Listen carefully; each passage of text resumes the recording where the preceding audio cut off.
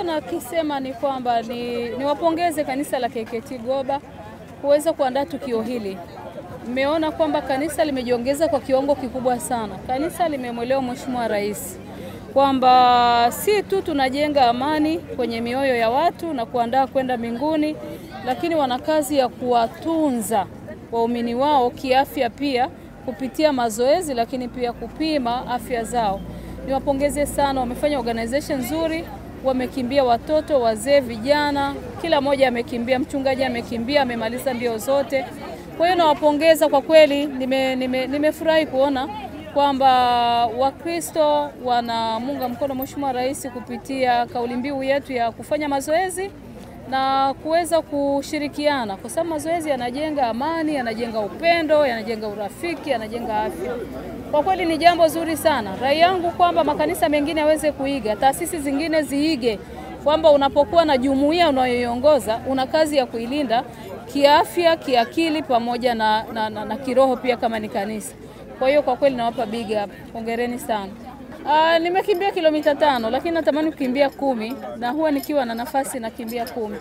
Um, mazoezi inapaswa mazoezi yanapaswa kuwa sehemu ya, ya maisha ya kila mtu, awe ni mtoto, awe ni kijana, awe ni mzee, kwa sababu kufanya huko mazoezi unachoma sukari nyingi na mwili unakuwa salama. Uh, binafsi napambana, lakini ndio hivyo, nimeishia kilomita tano tu. Next time nitaenda kumi mpaka ishirini na moja. Kwa hiyo karibuni sote kwenye mazoezi kwa wiki, walau mara tatu, usikose kufanya mazoezi. Mimi naitwa mchungaji Frederick Ruiza. mchungaji Frederick Ruiza, mchungaji wa kanisa la Kiinjili la Kilutheri Tanzania, Dayosisi Mashariki na Pwani, jimbo la Magharibi, ushariki wa Tegeta A. Kwa kweli tunamshukuru Mungu sana kwa sababu ni jambo ambalo liko kwenye plani yetu ya mwaka huu kwamba tulitenga siku hii maalum ya washarika kukutana kwa pamoja kufanya mazoezi lakini baada ya mazoezi pia tucheki afya na cheki afya ni bure. Kwa hiyo tumeona kwamba hii fursa tuitoe kwa washarika, lakini tunamshukuru pia Mungu kwa namna ambavyo Mheshimiwa Naibu Waziri wa Katiba na Sheria kushirikiana na sisi na kutuunga mkono kwa ajili ya jambo hili.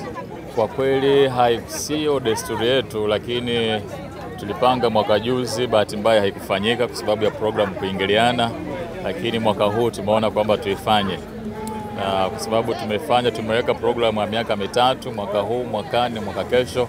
Baada ya hapo tutafanya tathmini, tuone namna gani ambavyo tumefanikiwa, lakini tunaamini kwamba lengo limefanikiwa. Washirika wengi wameitikia kufanya mazoezi, lakini pia na kupima afya. Ah, kwa kweli na sisi tumekuwa tukiendelea kuwahimiza washirika wetu kufanya mazoezi, kwa sababu mazoezi of course ni, eh, afya, ni, ni mtaji. Afya ni mtaji. Ukiwa na afya bora unaweza ukafanya kazi zako vizuri, lakini unaweza ukamtumikia Mungu kwa furaha na kwa nguvu zaidi pia. Mimi kwa jina ninaitwa Stella Molele, ni mwenyekiti wa kamati ya ustawi wa jamii katika usharika huu wa KKT Tegeta A. Uh, siku ya leo tumeandaa tukio hili kwa ajili ya kuwapa nafasi washarika wetu waweze kupima afya zao, lakini pia kufanya mazoezi, kwa sababu sisi kama kanisa tunatambua pia uh, afya ni mtaji wa kila kitu. Waumini ili waweze kumwabudu Mungu vizuri lazima wawe na afya njema. Kwa hiyo siku ya leo tumeiweka kwa ajili ya washarika wakimbie, watembee, lakini pate, wapate muda pia wa kufanya mazoezi mbalimbali, lakini wapate ushauri wa kidaktari na kupima magonjwa mbalimbali, hasa yale ambayo hayaambukizi. Lakini pia siku ya leo tuliona pia tufanye changizo kidogo kwa ajili ya kuwasaidia watoto wetu wa kituo cha Mtoni ambao wameshakuwa wakubwa, watoto wa, ambao wana usonji ili waweze kupata vifaa vya kuweza kuwasaidia kupata mafunzo kwa ajili ya kuweza kujiajiri, kwa mfano mafunzo kwa ajili ya housekeeping, eh, mambo ya bakery, mambo ya laundry, mambo ya garden, kwa sababu wale wana mahitaji maalum. Kwa hiyo wanahitaji uangalizi wa tofauti, na ndio maana pamoja na shughuli ya leo ya kupima afya na kufanya mazoezi uh, tumeona kwamba tufanye changizo kidogo kwa ajili ya kuwasaidia vijana wetu ambao tayari wameshakuwa wakubwa, wameshapita ile miaka kumi na nane, lakini pia wana changamoto. Kwa hiyo ili wasiwe tegemezi kwenye jamii, tumeona kwamba tufanye hiyo changizo ili wapate mafunzo, waweze kujiajiri au kuajiriwa katika maeneo mbalimbali na waweze kujitegemea. Ya, hii leo ni mwanzo, lakini tuna mpango wa kufanya hili jambo kila mwaka, kwa sababu tumeona kwamba tumekuwa na mwitikio, lakini tumeona kwamba effect yake kwenye jamii ni, ni nzuri, kwa sababu watu wamepata nafasi ya kufanya vitu ambavyo wakwao hawezi kufanya, maana kukimbia, kupima afya ni bure. Kwa hiyo tumeona kwamba washarika wetu wamefurahia. Kwa hiyo tumepanga kwamba kila mwaka tutakuwa tunafanya hivi ili kuweza kuhamasisha afya njema kwa washarika wetu. Ah, mwitikio wa watu umekuwa mkubwa sana. Kwa kifupi, tulikuwa tuna lengo la ku uh, la kuleta watu sio chini ya mia tano. Of course tumefanikiwa kwa sababu tumeshiriki, watu walioshiriki sio chini ya watu mia nane ambao walishiriki. Wengine wameshiriki kwa kutumia uh, kwa kushiriki kwa mbali, maanake kutuma pesa uh, kwa ajili ya cause hii ambayo tunaifanya, maanake kwa ajili ya kusupport tukio. Kwa hiyo tumepata mwitikio mkubwa sana kwa watu, hatukutegemea kwa kweli. Ni swala la kushukuru Mungu na kushukuru sana wana uh, wana KT Tegeta A pamoja na uh, tuseme wanagoba wote pamoja na washiriki wote walioshiriki La kingine pengine cha ambacho tunajipanga nacho ni, wa, ni wape assurance uh, siku zote tunajifunza uh, kila hatua tunajifunza hatua nyingine ya kesho. Kwa hiyo tukio hili tumeliandaa kwa udogo wake hivi, lakini lengo ni mwakani na miaka mingine inayokuja ni kuandaa kwa ukubwa zaidi ili tuweze kuwafikia watu wengi, tuwapime. Kama mnavyoona watu wanaendelea kupima hapa, wanapata uh, ushauri wa kitabibu wa kidaktari, wanashauriwa kuhusu uh, namna bora ya maisha so tunataka tuboreshe, tuwafikie watu kwa namna hiyo, watu wengi waboreshe afya zao, watu wengi waimarike yeah. Mejenga nafasi ya kushiriki pamoja na Wakristo wenzangu wa KKKT Goba na kuweza kujenga afya pamoja. Niwapongeze sana sana ndugu zangu, Pendo baba mchungaji, chini ya uongozi wako pamoja na viongozi wenzako wa kanisa kubuni jambo hili. Hongereni sana sana sana. Niwapongeze kwa kuwa waumini ambao mnaongoza wanahitaji malezi ya kiroho lakini pia ya kimwili na kiakili pia. Na kanisa kubuni jambo hili limekuwa ni jambo la kubariki Wakristo na waumini lakini pia na wananchi kwa ujumla. Lakini tunashukuru pia mmetualika sisi viongozi wa serikali na chama kuweza kushiriki pamoja na kanisa. Kwa mantiki hiyo, mpendwa baba mchungaji, taifa letu linaloongozwa na Mheshimiwa Rais wetu Daktari Samia Suluhu Hassan.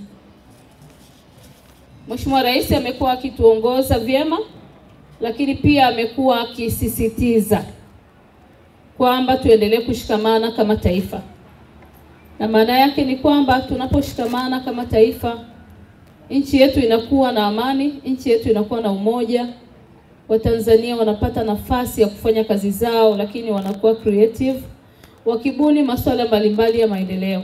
Tunamshukuru sana Mheshimiwa Rais Daktari Samia Suluhu Hassan ambaye anaongoza taifa letu lisilokuwa na dini lakini wananchi wake na na Wakristo kwa ujumla uh, Watanzania wana dini zao. Kupitia uongozi madhubuti wa Mheshimiwa Rais Pendo baba mchungaji, ndio maana tunapata nafasi ya kufanya mambo yetu ambayo hayavunji sheria za nchi hii kwa amani na kwa utulivu, lakini kwa uhuru. Ndio maana chini ya uongozi wa Mheshimiwa Rais ameendelea kusisitiza kuombea taifa letu kwa maana ya kwamba sisi ni Watanzania, ili taifa la kwetu sote. Tunaposhikamana sisi Watanzania na tunapokuwa na upendo, maana yake nchi yetu inakuwa salama. Tumshukuru sana Mheshimiwa Rais, lakini pia tumshukuru kwa jinsi ambavyo amekuwa sehemu yetu, waumini wa madhehebu mbalimbali. Mnafahamu uh, Mheshimiwa Rais ameshiriki katika maadhimisho ya miaka sitini ya kanisa letu la KKKT ameshiriki, ameonyesha upendo. Mheshimiwa Rais amekuwa sehemu yetu kwa sisi Wakristo wa KKKT bila kujali imani yake, lakini amekuwa akishiriki pamoja nasi. Inaonyesha jinsi gani ambavyo Mheshimiwa Rais amekuwa sehemu yetu na amekuwa akitupenda, lakini pia akitusisitiza mshikamano na kuombeana. Zangu, pia nipende kutoa shukrani zangu na za dhati kwa Mheshimiwa Waziri wangu Daktari Ndumbaro ambaye ni waziri wetu wa Katiba na Sheria. Mheshimiwa Waziri anafahamu kwamba siku ya leo niko mahali hapa na amewatumia salamu nyingi sana, amewapongeza. pokeni salamu zake. Mheshimiwa Waziri wangu pia ni mwanamichezo, lakini pia ni muumini muumini mzuri sana, na tulipopata mwaliko huu hatukusita kwa kuwa na sisi ni sehemu yenu jamii, na sisi tuna mambo yetu katika wizara yetu ambayo tunashirikiana nanyi. Tunashirikiana nanyi kupitia sheria mbalimbali. Tuna sheria za watoto zinazolinda watoto, lakini pia wizara yetu inasimamia sheria ya ndoa ya mwaka 1971 na mpendwa baba mchungaji, ninyi ni wadau wetu wa wizara yetu. kupitia taasisi yetu ya RITA ambayo inawasiliana na ninyi moja kwa moja. Wizara yetu ina taasisi zaidi ya tisa mpaka kumi na RITA ni sehemu ya taasisi yetu ya Wizara ya Katiba na Sheria. RITA inafanya kazi na makanisa na misikiti na taasisi za kidini kwa karibu sana kupitia sheria yetu ya ndoa ambako tunasimamia na, na ninyi mnatusaidia, tunawapa leseni za kufungisha ndoa, lakini tunawapa leseni hizo zikiwa na masharti mbalimbali, zikiwa na masharti ya ndoa itangazwe siku ngapi, ndoa ifungwe wapi, kuna aina ngapi za ndoa, lakini na mafunzo na mapingamizi ya ndoa, lakini pia afya nzima ya ndoa. Kwa hiyo ninyi ni wadau wetu, ninyi ni sehemu yetu. Mlivyotualika kwamba tuje, hatukusita kwa kuwa tuna jambo letu na ninyi, na tunaendelea kusisitiza. Niwaombe baba mchungaji, kwa kuwa nimesimama kwenye madhabahu haya, kwamba tuendelee kama kanisa kuwa karibu na vijana. Ndugu zangu, kama kuna jambo tunatakiwa kufanya sisi Wakristo na waumini kwa kushirikiana na viongozi wetu wa dini ni malezi ya vijana. Siku ya leo niwapongeze wote ambao mmeshiriki katika marathon hii ya asubuhi ambako nimeona vijana na watoto.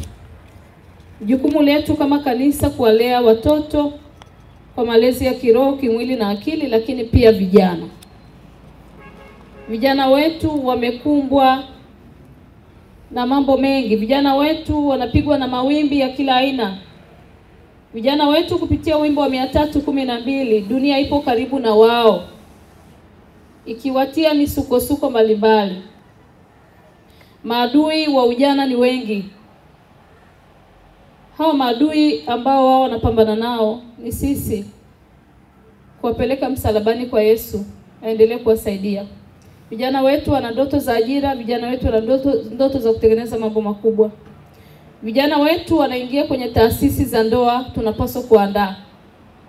Kwa hiyo, baba mchungaji, sisi kama wizara tuendelee kushirikiana na ninyi, tuwapongeze.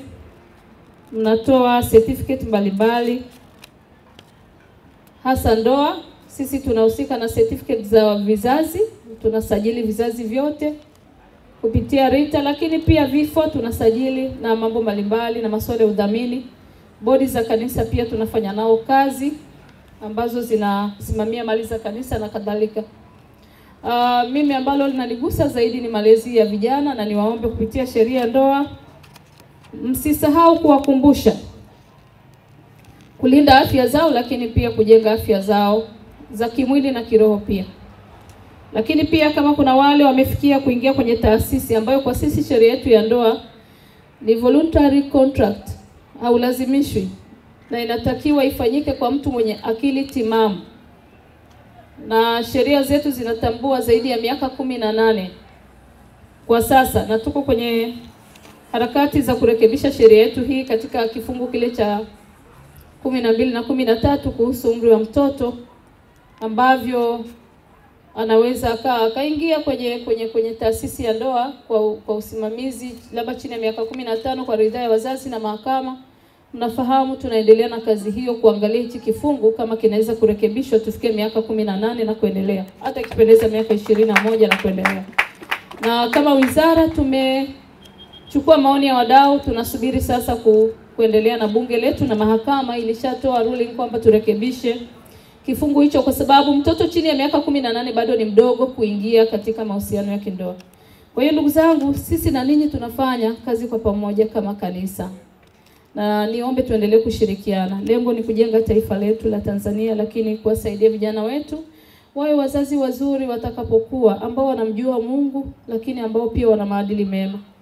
Nilifarijika pia kuona kwamba mmefanya jambo hili. Binafsi nilikuwa Wizara ya Utamaduni, Sanaa na Michezo, na hizi mbio tumezikimbia sana.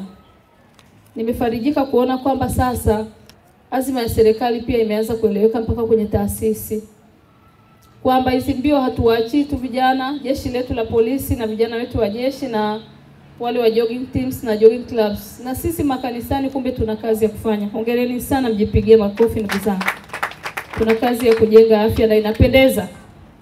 Kwa hiyo nime nimeshiriki nanyi, nimeona jinsi watoto wanakimbia kama alivyosema afisa tarafa ila yeye amevunja rekodi, amekimbia kilomita zote. Hongera sana. Amekuwa mjanja, akakimbia kilomita kumi, kakimbia tano, kakimbia mbili na nusu. Jumla ngapi?